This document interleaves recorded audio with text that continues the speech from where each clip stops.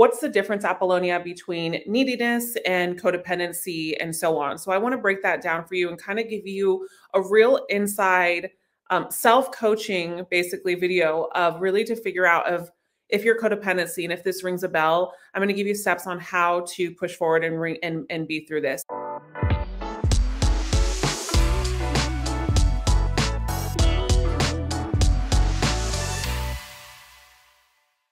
Let's get into a little bit about um, codependency. Okay. So I want you to think of codependency as it feels like an addiction. Okay. A lot of us do things in life to numb. A lot of us can do things in life to numb, as far as we hear it a lot. We can numb with drugs, we can numb with alcohol, but a lot of times uh, we can also numb with loving relationships a relationship and love and addicted to relationships and dating can also be a numbing process, just like online dating can be a numbing process because you're constantly looking for that gratification.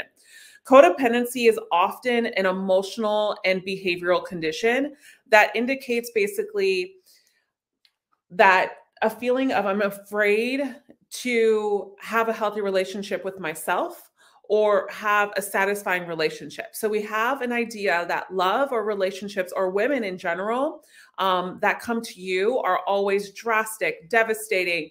You see yourself not being your best person.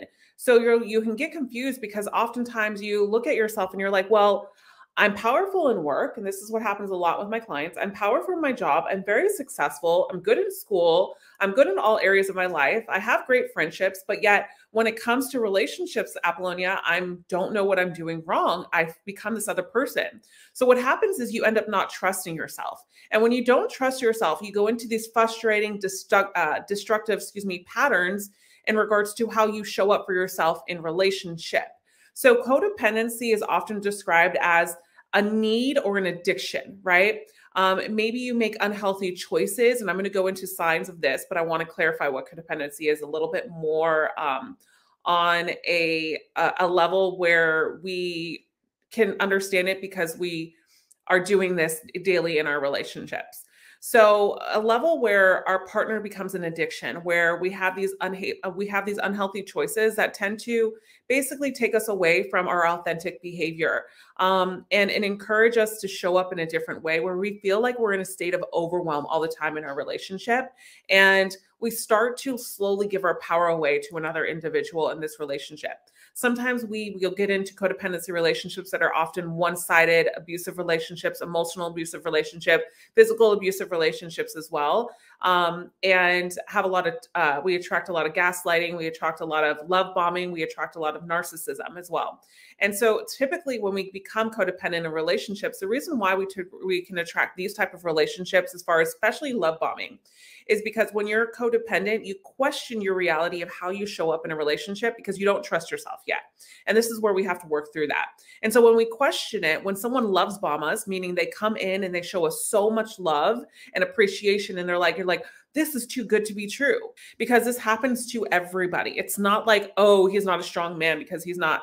Well, listen, a lot of men that I work with are very successful men and they're very independent and they have a great thing going. They've built their own homes, they have a family, they drive nice cars, whatever you want to do, whatever you want to say. They have the strength. They have that strength in them where they're able to accomplish things. But when it comes into their personal relationships with women, is when they start to self-destruct okay? And this is part of a codependency and we falling for these love bombing relationships. And typically when we fall love bombing relationships it happens so much with codependent men and women too. And this is because we don't feel 100% authentic of how we show up in love.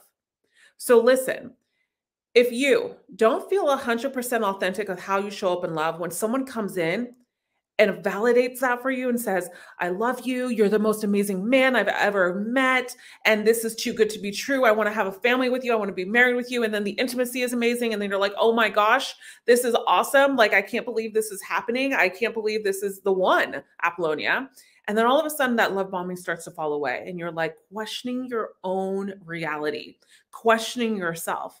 This is why we stand, we st- we tend to uh, fall into uh, codependent relationships as well. Is because when we don't have trust, we will initially fall for whatever lands in our lap that feels good because we lack boundaries, we lack standards, and we sometimes lack values. Okay, so let's get into some signs, guys, about codependency behavior. And as I go through these signs, I want you to comment below on what signs that really stick out to you even if it's more than one i want you to continue to comment because i want you to be able to call out what you see within yourself okay so signs of a codependency can oftentimes feel like you need to be needed like you're doing everything for this person um, who should honestly be independent because we're all grown adults. So basically, what you're doing is like you're trying to make her um, life better. Um, I, you're also noticing that she's not over an ex. And so, what you're trying to do is trying to prove that you're the best man possible for her. So, you step into this prove mentality or you see her struggling in life because she just got out of a divorce and you're trying to pay her bills, or you see her struggling in life and you're like, well, I used to be there one day too. I know what that's like. And you have empathy for that person, but the empathy is also with a motive of, but I want to be with her. So if I convince her that I'm a good man, keyword convince her that I'm a good man, and I show her, keyword show, convince and show, then she'll finally love me. We should never have to convince someone to be with you. All we have to do is show up with integrity and not prove that we are needing to be in this relationship. So, one of the things that happens is we try, especially with high uh, people that have come from hurt and pain and stuff in life, we can fall into this trap very easily when we see someone else there because we know what it's like to be there. But it is okay to be there for people as friends. But if you have a an, an ulterior motive to be in a relationship with someone, you are not to give them all of yourself in order for them to heal. They have to come to that conclusion themselves, right? Um, because most of the time when we get here, we have a sense of meaning. Sometimes we feel like we have a sense of meaning in these relationships because I can support this person's growth. I can support this person financially, right? And so this is really, really important. Another thing is um, a reason why we're sometimes codependent is because we were abandoned when we were young by a mother or a father, right? So, um, you know, as a child, we have to have loving relationships with our parents. I say this in all of my sessions with clients is I break some things down in general. I'm not going to dive in too much, but I want you to think about it. Your first romantic relationships are actually with your parents, guys. Okay. Now, with women, it becomes more romantic and intimate.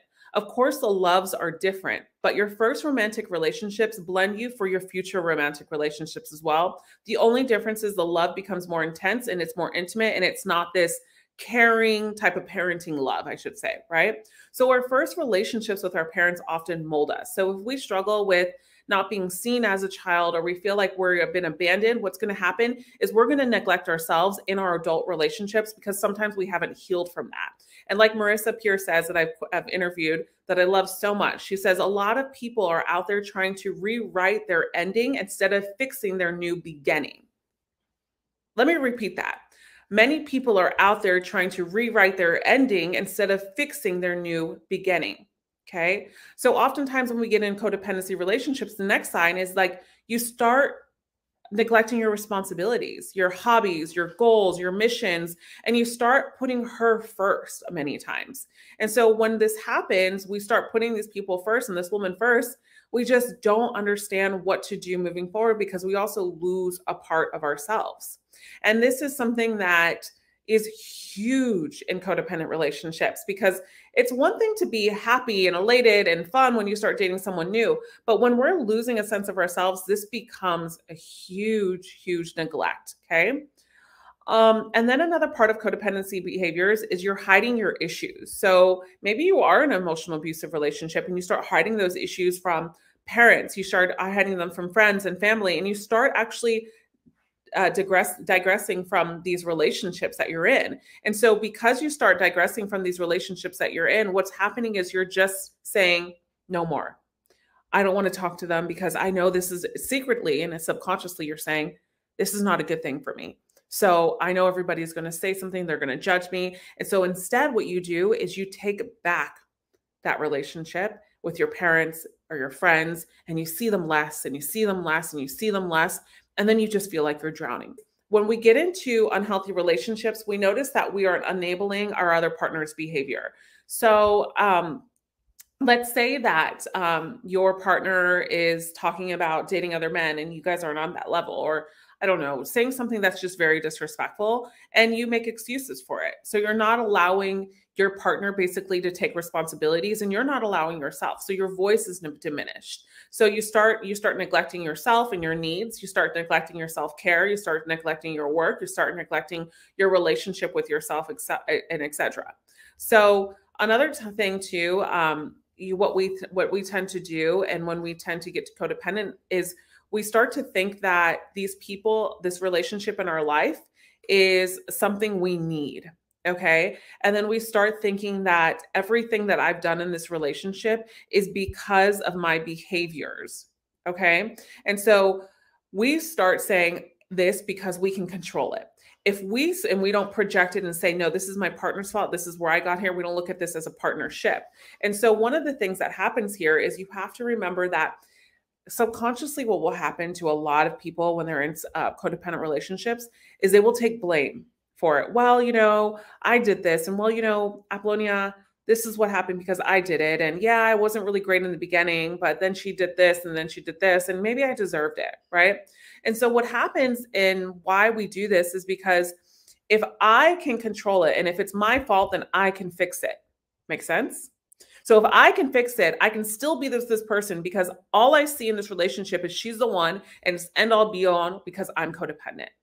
And in order to release this, in order to get clear of this, guys, is where we also have to chime in and say, what do I need to change in my life? What work do I need to do to release these unhealthy attachments to possibly not the best women for me and also show up better for myself in my life? All right, guys, much love to you. Um, have a wonderful, wonderful rest of your week. Um, much love to all of you. If this is your first time visiting, I welcome you to subscribe and also to comment below. Bye, guys. Have a wonderful, wonderful, wonderful day.